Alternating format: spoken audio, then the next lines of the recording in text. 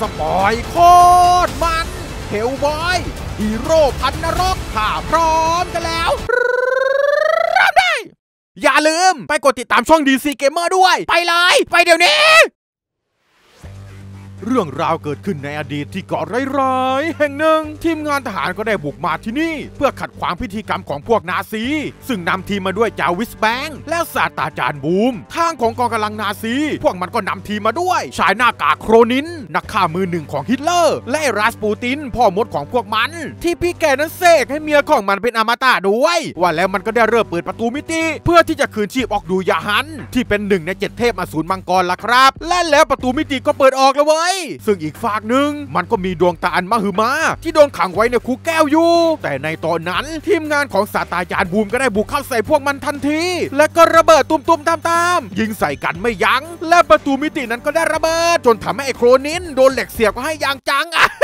และไอ้พ่อมดรัสปูติน ก็โดนประตูมิตินั้นดูดเข้าไป จนมันนี่ตายห่าไปเลยแหละครับสำนำหน้าเลยมึงแต่หลังจากทุกอย่างสงบศาสตราจารย์บูมก็เห็นว่าไอโครนินนั้นได้หายตัวไปอ้าว มึงหายไปไหนวะเนี่ย และศาสตราจารย์ก็ได้พูดแล้วครับ ว่าประตูมิตินั้นเปิดนานเกินไป มันอาจจะมีอะไรอีกฟังข้ามมาที่นี่ก็เป็นได้ ว่าแล้วพวกพี่แกก็ได้เจอกับตัวอะไรบางอย่าง ที่มีผิวกายสีแดงราวกับไฟนรก ใช่แล้วครับ มันก็คือ Angry Bird ไงล่ะทุยไม่ใช่แล้วกูว่าด็อกเตอร์นั้นก็ให้ขนมกับมัน และทีมงานทหารก็ได้ตั้งชื่อให้กับเจ้าแดงนี้ว่าเฮลบอยล่ะครับ และนี่ก็เป็นจุดเริ่มต้นของความมันชิบหายวายวอดในเรื่องนี้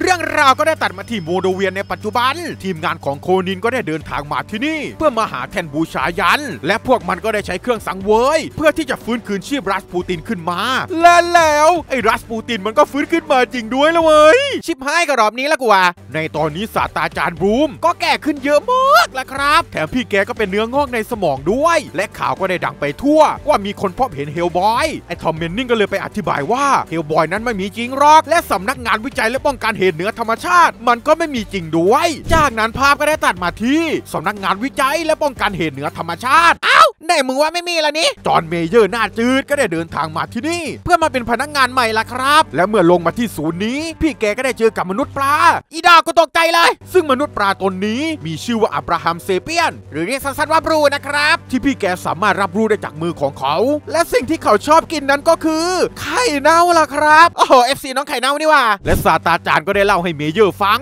เกี่ยวกับสำนักงานนี้ ว่าพวกเขานั้นมีหน้าที่ปกป้องตัวร้ายเหนือธรรมชาติ และเมเยอร์ก็ได้เข้าไปในห้องห้องหนึ่งผู้คุมคนเก่าก็ได้แนะนำเมเยอร์ ว่าคนที่อยู่ในห้องนี้ เขาจะแดกวันละหกมื้อและเอ็นดูแมวเป็นพิเศษ หรือพูดง่ายๆ ก็คือทาสแมวนั่นแหละครับ และเมเยอร์นั้นก็ต้องเป็นพี่เลี้ยงและเพื่อนของเขาด้วย ซึ่งคนคนนั้นก็คือเฮลบอยพระเอกของเราไงล่ะตอนนี้เขานั้นก็มีอายุประมาณ 60 ปี แต่ยังฟิตปังเหมือนคนอายุ 20 อยู่เลย พี่เรดนั้นก็ได้มาหาเรื่องเมเยอร์เพราะว่าพี่แกนั้นจ้องหน้าเขาดอนจริง ๆ เลยมึงนี่แต่ในตอนนั้นสัญญาณเตือนก็ได้ดังขึ้น นั่นก็เพราะว่ามีเหตุการณ์ไม่ปกติละครับ ว่าแล้วทีมงานของเฮลบอยก็ได้เดินทางไปยังที่เกิดเหตุ ด้วยรถขยะสุดเฟี้ยว มึงมาด้วยรถขยะเนี่ยนะเท่ชิบหายแล้วมึง นั่นก็เพราะว่าพวกพี่แกต้องปิดบังตัวตนไม่ให้ใครเห็นล่ะครับ ซึ่งพี่เรดนั้นก็ไม่ค่อยโอเคหรอก เพราะเขานั้นก็ต้องการออกไปใช้ชีวิตข้างนอก และอยู่กับคนที่เขารักล่ะครับบ้ายิ่งจริง ๆ เลยมึงนี่และเมื่อมาถึงที่นี่พวกพี่แกก็ได้เข้าไปด้านในศาสตราจารย์บูมก็ได้บอกกับเรดว่าสัตว์ประหลาดพวกนี้ มันอันตรายมาก และพี่ปลาดุกนะเออ ก็ตรวจสอบได้แล้วครับ ว่าตัวที่อยู่ด้านในมันอันตรายและดุร้ายมากจริง ๆ ว่าแล้วเฮลบอยก็ได้เข้าไปในห้องนั้นคนเดียว แล้วพี่แกก็ได้เจอกับซากศพของยามที่โดนแดกแหละครับ แถมก็ได้เจอกับไอ้กระบอมยักษ์นั้นจริง ๆ ด้วย ทางของบลูก็ได้หาข้อมูล และเขาก็ได้บอกกับเรดว่าไอ้อสูรตนนี้ มันมีชื่อว่าไซมาเอล แต่เรดก็ฟังไม่ทันจบพี่แกก็กระหน่ำยิงใส่มันไม่ยั้งเลยปังปังปังปังจนทำให้อสูรนั้นตายหาไป แต่บลูก็ได้บอกต่ออีก ว่าไอ้อสูรนี้มันเป็นอสูรสันโดษเจ้าแห่งความมืด และเจ้าแห่งการคืนชีพล่ะครับแถมในตอนนี้ร่างของไอ้ยักษ์นั้นมันก็หายไปแล้วด้วย มันหายไปไหนแล้วนี่พี่เรดวะและแล้วไอ้ยักษ์นั้นก็โผล่มาอัดเรดอย่างแรง โอ้โหแลตุเป้จนทำให้พระเอกของเราลอยลิ้วตกมาด้านล่าง และเรดก็ได้เจอกับไอ้รัสปูติน และมันก็ได้บอกกับพระเอกว่าเขานั้นรู้ว่าจริงๆแล้ว พระเอกนั้นคือใครกันแน่ แต่อยู่ๆมันก็หายไป เอ้า มึงให้ไปไหนล่ะนี่ แต่แล้วไอ้ยักษ์นั้นก็โผล่มาจัดการเรดอีก แต่พี่เมเยอร์ก็ได้มาช่วยยิงไว้ได้ และที่แขนของเรดมันก็มีตัวไรเกาะอยู่ด้วยล่ะครับ ซึ่งมันก็คือตัวอ่อนที่ไว้ฟักไข่ของไอ้ยักษ์นั่นแหละครับ และเรดก็ได้ยิงใส่มันอีกที แต่มันก็หนีรอดไปได้อีกรอบ ไอ้สูนนั้นก็วิ่งหนีไปอย่างเร็วไว จนมันนั้นหนีลงท่อไปได้ และพี่เรดก็ได้ลงตามมันมา แถมไอ้ยักษ์นั้นมันก็รออยู่เลยล่ะครับ ว่าแล้วไอ้กระปอมยักษ์ก็ได้กระโดดขึ้นรถไฟไป และพี่เรดก็ตามมันไปด้วย แต่คนก็คิดว่าพระเอกก็คือสัตว์ประาด จนทำให้พี่แกโดนอัดจนตกรถไฟไปน่าสงสารจริงเลยพระเอกเออและไอ้กระปอมยักษ์กับเรดก็ได้ฟัดกระหน่ำกันอีกรอบอย่างเมามัน และพระเอกก็ได้ใช้ไฟฟ้าช็อตตัวเองกับไอ้กระปอมยักษ์จนมันนั้นโดนเผาตายหาไปเลย ซึ่งที่พระเอกทำได้ก็เพราะว่าเนื้อของพี่แกมันกันไฟล่ะครับและเรดก็ได้บอกกับไมเยอร์ว่าเขานั้นจัดการไอ้อสูรได้แล้ว และพี่แกก็ปิดเครื่องติดตาม เพื่อที่จะไปหาสาวเลยล่ะครับบ้ายิ่งจริงเลยพระเอกเออทางของไอ้รัสปูติน ตอนนี้พี่แกก็หาไม้ตาล่ะครับ เขาก็เลยเอาดวงตามาใส่เข้าไปจนมันนี่มองเห็น และพี่แกก็ได้บอกว่าไอ้สมาเอลอสูรแย่ยักษ์เมื่อตายไปหนึ่งมันจะเกิดใหม่ขึ้นมาถึงสองชิบหายแล้วล่ะที่นี่ทางของเรดก็ได้เดินทางมาที่โรงพยาบาลเบลามีเพราะว่าพี่แกต้องการมาหาลิสเนิร์กเอกคนสวยของเราไงล่ะและทั้งสองก็ได้เจอกันล่ะครับ ในที่เกิดเหตุพี่ปลาดุกก็ได้ตรวจสอบสิ่งของต่างๆ และเขาก็ได้เจอกับดาบอันหนึ่ง และพี่แกก็รับรู้ได้ถึงอะไรบางอย่างล่ะครับ เขาก็เลยส่งภาพนั้นให้กับศาสตราจารย์บูมได้เห็น ว่าไอ้โครนินมันได้เดินทางมาที่นี่ เพื่อที่จะเอาอะไรบางอย่างจากตัวหุ่นซึ่งมันก็คือที่กักเก็บอนุมูลของไอ้กระปอมยักษ์และรัสปูตินนี่แหละที่เป็นคนปลุกมันขึ้นมา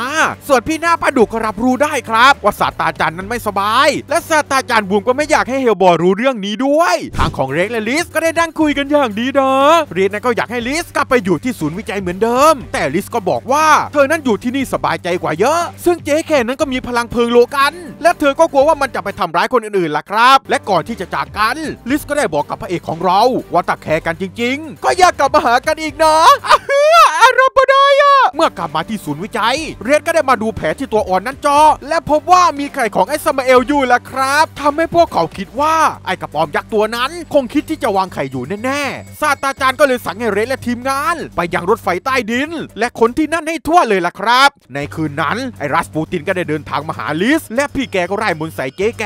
จนทำให้เธอนั้นฝันถึงไฟโลกัน และแล้วร่างของเธอก็ติดไฟ และก็ตูมเกิดเป็นโกโก้ครันช์ระเบิดเถิดเทิงกันเลยทีเดียวตัดมาที่ไมเยอร์ พี่แกนั้นก็ทะเลาะกับเรดเพราะพระเอกนั้นไม่ฟังอะไรเขาเลยทำให้ไมเยอร์นั้นไม่อยากที่จะทำงานนี้ต่อไปละครับ แต่ศาสตราจารย์บูมก็ได้บอกว่าเขานั้นเป็นเนื้องอกและกำลังจะตาย และมีแค่ไมเยอร์คนเดียวเท่านั้น ที่จะคอยดูแลเรดต่อไปได้ทำให้ไมเยอร์ได้เดินทางมาหาลิส เพื่อที่จะกล่อมให้เธอกลับไปที่ศูนย์วิจัยล่ะครับ ด้วยความหล่อและคารมของไมเยอร์ก็ทำให้ลิสยอมกลับไปที่ศูนย์วิจัยเลยล่ะครับ ในตอนนี้เรดบลูและก็ทีมงาน ก็ได้เดินทางมาที่อุโมงค์ระบายน้ำใต้เมือง ซึ่งที่นี่มันก็เป็นที่ชื้น เหมาะกับการวางไข่ของพวกสมาเอล และพี่บูก็ได้รับรู้ถึงชีพจรของพวกมัน ข้างใต้ท่อระบายน้ำทำให้พี่แกคิดที่จะลงไปดูชัดๆ ว่ามันมีส้นตีนอะไรบ้าง และเมื่อลงมาดู บูก็ได้เจอกับไข่ของพวกกระป๋อมยักษ์จริงๆล่ะครับ ส่วนพี่เรดของเราก็ได้เจอกับไอ้โครนินทำให้พระเอกรีบตามมันไปอย่างเร็วไวเลย ทางของบลูก็ได้เจอกับไข่ของพวกมันมากมาย และแล้วไอ้กระป๋อมยักษ์มันก็โผล่มาอันเลยไว้ทำให้พี่หน้าประจวบต้องหนีตายสุดชีวิต จนพี่แกนั้นหนีรอดไอ้เยนะส้นตีนนั้นมาได้เกือบตายเลยล่ะกูทางของเรดก็ได้มาปาชาดากับไอ้เยยักษ์หน้าส้นตีนนั้นอีกครั้ง อัดกันไปอัดกันมา เรดก็ได้ตกลงมาที่สถานีรถไฟใต้ดิน แต่ก็ยังไม่ไหวที่จะอัดกันต่อ แต่ในระหว่างที่สู้กันอย่างเมามัน เรดก็ต้องช่วยน้องแมวไปด้วย มึงนี่เป็นถาดแม่ทุกทีเลยจริง ๆ อัดกันไปอัดกันมา ไอ้อสูรยักษ์ก็ได้โดนรถไฟชนจนมันตายหาไป และเรดก็สามารถช่วยน้องแมวให้ปลอดภัยไว้ได้ละครับ น่ารัก เลยทีเดียวเชียว แต่เมื่อไอ้สูรยักษ์ตัวนั้นตายไปหนึ่งมันก็ทำให้ไข่ของพวกมัน ฟักเพิ่มออกมาอีก 2 ตัวละครับ ทางของไอ้โครนินมันก็ได้ฆ่าทีมงานของเรดทิ้งและมันก็ได้ปิดระบบของตัวเอง และทำทีว่าตายไปด้วย และเมื่อกลับมาที่ศูนย์วิจัย บูก็ได้รักษาอาการบาดเจ็บและไอ้เมนนิ่งหน้าเออมันก็ได้มาด่าพระเอกยับว่าเรดนั้นเอาแต่โชว์เดียวไม่เคยคิดถึงใคร และมันก็ได้พูดต่ออีก ว่าหลังจากที่พระเอกกำจัดสัตว์ประหลาดแล้วทุกๆ ตัวบนโลก มันก็จะเหลือตัวสุดท้าย นั่นก็คือเรดนี่แหละครับ มันก็ทำให้พี่เรดของเรานี่ปีแตกเลยแหละและในตอนนั้นลิสก็ได้มาถึงพอดี แต่เจ๊แกก็ดันมาเห็นพระเอกที่วีนแตกทำให้ทุกๆคนเดินหนีพี่เรดกันไปหมดเลยละครับช้ำใจกันเลยทีเดียวพระเอกเกอร์ไมเยอร์นั้นก็เอาอาหารมาให้กับเรดซึ่งตอนนี้พี่เรดของเราก็กำลังคิดคำที่จะคุยกับเจ๊ลิสอยู่แหละครับ แต่ในตอนนั้นลิสก็เข้ามาพอดี และเธอก็ได้บอกว่าเธอนั้นกำลังจะไปกินกาแฟกับไมเยอร์ทำให้พี่เรดของเรานี่วิบกันเลยทีเดียว นี่แกแย่งแฟนฉันเนี่ยไอ้ดอก ในตอนนี้ศาสตราจารย์บูม ก็กำลังตรวจสอบศพของไอ้โครเนนอยู่ละครับ ซึ่งหน้าตาของมันก็สกปรกหมด แถมเลือดทั้งหมดของมันก็แห้งเหือดกลายเป็นทรายไปหมดแล้วล่ะครับ และในตอนนี้พี่เฮลล์บอยของเราก็ได้หนีออกจากศูนย์วิจัยไปแล้วเพราะพี่แกนั้นอยากตามลิสไป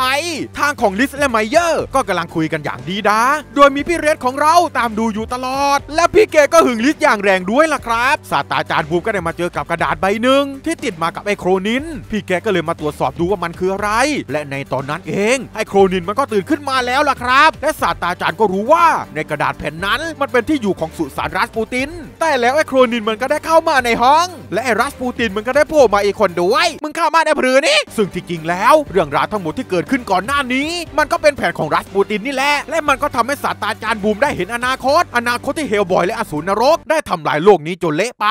และแล้วศาสตราจารย์บูม ก็โดนไอ้โครนินฆ่าตายไปเลยล่ะครับ และแล้วในตอนนั้นลิสและพระเอกก็รู้แล้วครับ ว่ามีเรื่องเกิดขึ้นที่ศูนย์วิจัย และเมื่อศาสตราจารย์ตายเฮลบอยนั้นก็เสียใจมากๆพราะเขานั้นเปรียบเสมือนพ่อแท้ๆของพี่แก ที่คอยพร่ำสอนความเป็นมนุษย์ให้กับเขาล่ะครับ หลังจากจบพิธีศพทีมงานของศูนย์วิจัยก็ได้ตรวจสอบกระดาษแผ่นนั้นอีกครั้ง และก็ได้รู้เป้าหมายต่อไป นั่นก็คือที่มอสโกล่ะครับ ลิสก็ได้มาเจอกับพี่เรดและเธอนั้นก็ขอไปมอสโกกับเรดด้วย พี่หัวแดงก็เลยบอกกับนางเอกไป ว่าเขานั้นรู้ตัวดีว่าพี่แกนั้นไม่ได้ล่อแต่เขานั้นจะไม่มีวันหมดรักลิสล่ะครับ เขินไหมละมึง ว่าแล้วทีมงานของเรดก็ได้เดินทางมาที่รัสเซีย โดยพวกเขาคิดที่จะระเบิดที่นั้นทิ้งทั้งหมด และแล้วพวกเขาก็ได้เดินทางมาถึงที่หมายแล้วล่ะครับ เรดก็พยายามหาสุสานของรัสปูติน และพี่แกก็ได้เจอกับสุสานร้อยๆหลุมหนึ่ง และเรดก็ได้ใช้มนต์เพื่อปลุกไอ้โครงกระดูกขึ้นมา ซึ่งพี่เกนั้นก็มีชื่อว่าอีวาน และมันนี่แหละเป็นคนที่พาไปเจอกับสุสานของรัสปูตินล่ะครับ พวกเขาก็ได้เข้ามาในอุโมงค์แห่งหนึ่ง แต่แล้วกับดักมันก็เริ่มทำงาน จนทำให้ทุกๆคนนั้นแยกกัน ไม่เยอะกับดิสก็ไปด้วยกันส่่วนเรดและไอเมนนี่หน้าจืดก็ไปกันอีกทางล่ะครับพระเอกก็ได้สั่งให้ทุกคนเดินหน้าต่อ จนเรดมาถึงสะพานอันหนึง และประตูทางเข้ามันก็ปิดลงด้วยเรดก็เลยสั่งให้เพื่อนของเขาอีกคนเดินหน้ากันต่อ แต่ไอเมนนี่มันก็ปรี๊ดแตกเลย ที่เรดไม่เคยฟังคำสั่งมัน ใส่ไม่เคยฟังกันเลยเนี่ยลิงแดง แต่แล้วเพื่อนของเรดก็โดนกับดักเข้าให้จนทำให้เรดและมินนี่ต้องหนีกันชุลมุนจนพี่แกนั้นรอดมาได้ และก็บังเอิญห้องที่เรดหนีมามันเป็นห้องของไอโครนินทำให้พระเอกกับไอหุ่นกระป๋อง ได้สู้กันอย่างเมามันอีกครั้ง ฟัดกันไปแล้วก็สู้กันมา พระเอกนั้นก็โมโหมันมาก ที่มันนั้นฆ่าพ่อของเขา แต่แล้วเรดก็ได้ตกหลุมพรางของมัน แต่ก็ยังดีที่พี่แกดึงเชือกเอาไว้ได้ และเรดก็ได้ดึงไอหุ่นกระป๋องลงมาแทน แต่หน้าส้นตีนมันก็ยังไม่ตายอีก พี่เรดก็เลยโยนเหล็กเข้าไปทับมันอีกทีเลย ไม่ตายอะมันโรไปนี่และพระเอกของเราก็ได้เดินหน้าไปต่อ และเขาก็ได้รู้ว่าลิสและคนอื่นๆนั้นอยู่ห้องข้างล่าง ส่วนทางของทีมงานลิสก็ได้มาโป๊ะเชะกับไอ้แย้นรกอีกแล้วล่ะครับแถมรอบนี้มีพวกมันเป็นขโยงเลย และจู่ๆประตูห้องนั้นก็ได้ปิดตัวลง ลิสก็เลยเรียกเรดมาช่วยด่วนๆเลยและพี่เรดของเราก็ได้ต่อยพื้นจากด้านบน จนทะลุลงมาด้านล่างได้ล่ะครับว่าแล้วพี่แกก็กระหน่ำใส่พวกกระปอมยักษ์นั้นไม่ยั้งแต่เมื่อมันตายไปหนึ่งมันก็จะเกิดใหม่ขึ้นมาอีกสองแล้วเว้ทำให้เรดนั้นเริ่มสู้ไม่ค่อยไหวแล้วล่ะครับ จนทำให้ลิสต้องช่วยพี่แกแล้วล่ะลิสก็เลยสั่งให้ไมเยอร์ตบหน้าของเธอ จนทำให้เจ๊แกนี่โกรธมากจนไฟขึ้นเลย ว่าแล้วลิสก็ได้เผาไอ้พวกแย้นรกพวกนั้นทิ้งทั้งหมดเลยล่ะครับ สุดยอดจริงเลยเจ๊แก แต่มันก็เข้าทางรัสปูตินเลย เพราะว่ามันสามารถจับตัวเรดและลิสได้อย่างง่ายดายล่ะครับ แถมมีเจ๊ผมทองก็ได้ชิงระเบิดจากไมเยอร์ไปด้วย ตอนนี้เรดก็โดนจับมาทำพิธี เพราะว่าไอ้รัสปูตินมันต้องการให้เรดเปิดประตูมิตินรก เพื่อที่จะให้ออกดรูจาฮัดมาที่นี่ แต่มีเหรือที่พี่เรดของเราจะยอมทำ แต่แล้วไอ้รัสปูติน มันก็ได้ดูดวิญญาณของลิสเข้าไป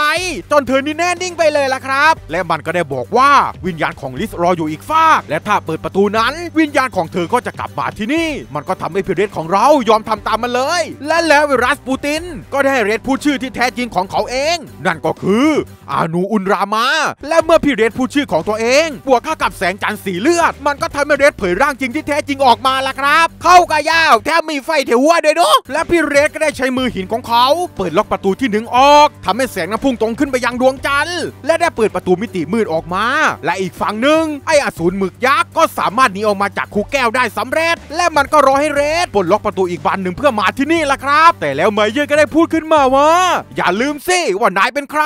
แล้วพี่แกก็ได้โยนไม้กางเขนให้พระเอกทำให้พี่เรดของเรามีสติขึ้นมาแล้วล่ะครับ ส่วนไมเยอร์ก็ได้อัดอีเจ๊ผมทองจนสลบและพี่เรดก็ได้หักเขาของพี่แกทิ้ง ทำให้ประตูมิตินั้นปิดลง และเรดก็ได้เอาเขาของพี่แก แทงเข้าใส่รัสปูตินเลยอะใต้ห้องไปเลยทีเดียว แต่แล้วไอ้รัสปูติน มันก็ได้ปลดปล่อยอสุรกายที่อยู่ในตัวมันออกมา ส่วนทางของเรดและไมเยอร์ก็รีบพาลิสหนีออกมาจากที่นั่นได้สำเร็จละครับ และรัสปูตินกับอีเจ๊ผมทอง ก็โดนไอ้อสูรหมึกยักษ์ทับจนตายห่าไปทั้งสองคนเลย ทางของเรดพี่แกก็คิดที่จะกลับไปจัดการไอ้อสูรตัวนั้น แต่แล้วไอ้หนวดปลาหมึกก็ได้มาจับพี่แกไปเลยอ้าวเฮ้ยใส่ตัวถึงไงพันนีละนี่เรดก็พยายามสู้กับมันอย่างเมามันและไอ้ปลาหมึกยักษ์ก็ได้แดกพระเอกเข้าไปทั้งตัว แต่เรดก็บังเอิญพาระเบิดเข้าไปในท้องของมันด้วยจนทำให้ปลาหมึกยักษ์โดนระเบิดตุ้มๆตามๆจนมันนี่เละตายห่าเป็นโกก็ขันไปเลยแหละครับ เรดก็รีบกลับมาหาลิส ซึ่งตอนนี้ลิสนั้นก็เหมือนจะไม่หายใจแล้วล่ะครับ เรดก็ได้พูดกับเธอเลย ว่าเขานั้นโง่เหลือเกิน และจู่ๆลิสก็ตื่นขึ้นมาแล้วไว้อ้า ตื่นขึ้นมาเฉยเลยนี่เจ๊แกเนี่ย แล้วลิสก็ได้บอกครับว่าในความมืด เธอนั้นได้ยินเสียงเรด และทั้งสองก็ได้จูบกันแต่ไฟก็ติดตัวด้วย ปล่อยให้พี่ไมเยอร์ดูด้วยความอิจฉาตาร้อนล่ะครับ และเรื่องราวของเฮลล์บอยฮีโร่พันธุ์นรกที่โคตรมันส์ก็ได้จบลงไป